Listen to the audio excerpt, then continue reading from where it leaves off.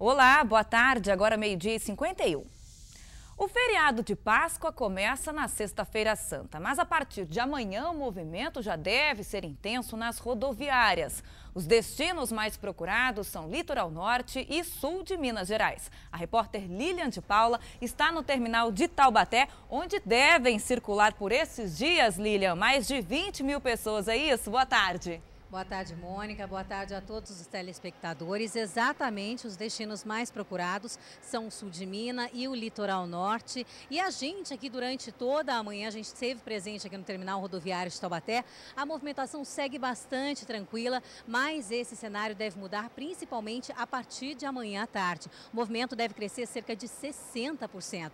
Para falar com a gente sobre esses números, eu convidei aqui o Alexandre Pérez, administrador do terminal. Alexandre, mesmo sendo um feriado religioso, muita gente ainda escolheu o litoral norte? É, bem, a escolha do litoral norte, né, se dá pelo feriado, né, prolongado que vai ter, até mesmo porque em Taubaté é feriado na segunda-feira, né? Bom, cresceu 60% então em relação ao ano passado. Vocês esperam, estimam esse número amanhã? Isso, exatamente. Através das vendas das passagens antecipadas, as empresas já nos passaram esse número que dá uma cerca de 60 mesmo por cento do, do crescimento, em comparação à Páscoa do ano passado, de 20 a quase 25%. Apesar da tranquilidade, hoje a movimentação um pouquinho mais intensa aqui, porque é o horário de ônibus está desembarcando aqui os passageiros, mas o que a gente notou é que a maioria vai para o sul de Minas. O que, que explica isso? Você já tem uma explicação, né? Bem, é, a explicação é a seguinte, né? o povo mais católico, né, que vai é, conhecer é, essa organização católica de se fazer procissões e tudo mais nas cidades históricas do sul de Minas, é, é esse o significado né, da Páscoa. E as pessoas acabam procurando mais por efetivamente participar dessa, dessa festa, né, dessa comemoração, na verdade, pela Páscoa, né, do, desse feriado, enfim, que acontece de um ritual religioso. Agora, a maioria das pessoas que a gente conversou aqui hoje, muitas mesmo, vão para o sul de Minas. Inclusive, uma delas disse que já estava com dificuldade de encontrar passagem. Já está tendo dificuldade? Isso, exatamente. As empresas já nos passaram desde quarta-feira, né, desde hoje, já está vendendo passagens antecipado, mas desde a semana passada já estavam vendendo passagens de quinta até sexta. Quase nenhuma passagem mais se encontra, principalmente para o sul de Minas. Agora, Rio de Janeiro também, muitas passagens antecipadas foram vendidas. As empresas agora estão tentando entrar em contato com as suas matrizes para ver se há disponibilidade de ônibus extras para conseguir atender a demanda. Então ainda não está acertada essa operação de ônibus extras? Isso, exatamente. Não está porque é, algumas outras empresas já deslocaram seus ônibus que, que tinham disponibilidade para atender a demanda de outras cidades, já que antecipadamente já compraram as passagens. Então, isso que é importante sempre salientar, que a pessoa que pretende viajar, comprar antecipadamente sua passagem, tanto a ida quanto a volta, para ter um cronograma de atendimento das empresas. Movimentação diferente amanhã, é cerca de 60% maior. Para a Serra da Mantiqueira também teve aumento, porque parece que é um feriado romântico, um feriado aí que muitas pessoas devem escolher. Campos do Jordão em especial, teve aumento também? Olha, teve um aumento sim, a empresa já passou que teve um aumento de pelo menos uns 25%, é, com expectativa de atingir até 30% de dias normais. Então a serra também está muito, tá muito procurada, na verdade, é, por conta desse friozinho que está dando início agora aí. Rapidamente, quais as dicas, orientações para quem vai viajar com criança, principalmente? Não esquecer documentação.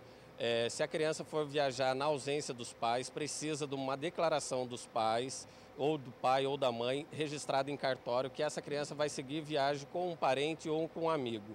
A criança que ainda não atingiu 12 anos, a partir de 12 anos, pode viajar o território nacional inteiro portando seu RG. Eu agradeço a sua participação. E só mais uma informação, Mônica. No terminal rodoviário de São José dos Campos são esperados 43 mil passageiros durante o feriado de Páscoa e lá sim vai ser feita uma operação de ônibus extras para atender a demanda. Voltamos com você. Tá certo, obrigada, Lilian. A cidade de Aparecida também deve receber muitos turistas neste feriado. A previsão é que entre sexta e domingo, 200 mil pessoas participem das comemorações religiosas de Páscoa no Santuário Nacional. Dois homens foram presos na madrugada de hoje no bairro Paúba, em São Sebastião. Foram apreendidos cerca de 400 pinos de cocaína, cheques e R$ 7.500 em dinheiro. As cédulas estavam manchadas pela tinta de segurança de caixas eletrônicos. A suspeita da polícia é que Jefferson Pereira da Silva, de 28 anos, e Varley Rocha Rodrigues, de 29, estão envolvidos com a explosão de dois caixas eletrônicos ocorrida em Maresias no último fim de semana. Ah, eles foram encaminhados à cadeia pública de Caraguatatuba e agora vão responder por tráfico de drogas e furto. Em Pindamonhangaba, um homem foi preso e dois menores apreendidos ontem à noite no distrito de Moreira César. Entre eles, um de 13 anos de idade. De acordo com a Polícia Militar, os rapazes cometeram três roubos, sendo dois deles no bairro Cidade Nova. Um aconteceu em um posto de combustíveis Outro alvo, outro alvo foi uma lanchonete por fim, onde foram detidos em uma padaria de Moreira César. Com o trio, a polícia apreendeu o carro usado nos crimes, um revólver de brinquedo e munição. A polícia, eles confessaram que são autores da maioria dos roubos registrados no último mês na cidade. Os menores foram encaminhados para a Fundação Casa, já o maior, de 18 anos, foi para a cadeia de Guaratinguetá.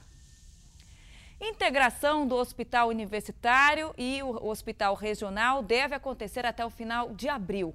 O repórter Márcio Correia tem mais informações desse assunto.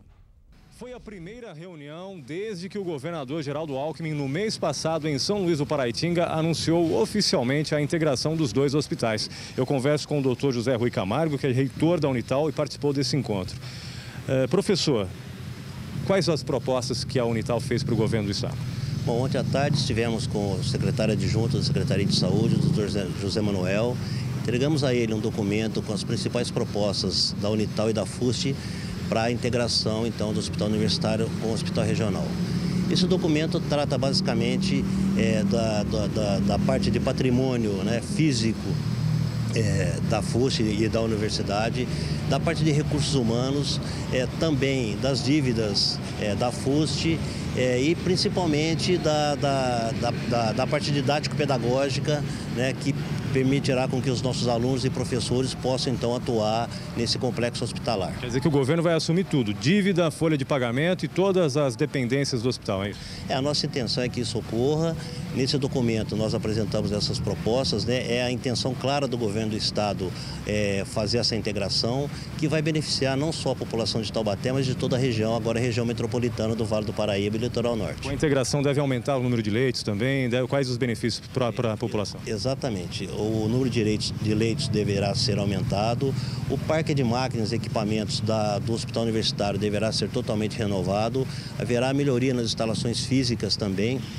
E como eu já disse, né, isso vai ser um grande ganho para toda a região. Quando efetivamente entra em prática a integração do hospital escola com o hospital regional? Nossa intenção e também a intenção do governo do estado é de que isso ocorra o mais rápido possível.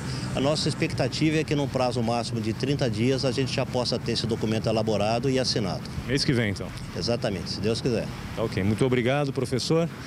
Márcio Correia, de Taubaté, para o Band Cidade. Veja a seguir, a previsão do tempo para hoje e ainda novo Código de Administração da Unital é aprovado pelos vereadores. Já já os detalhes, agora uma hora.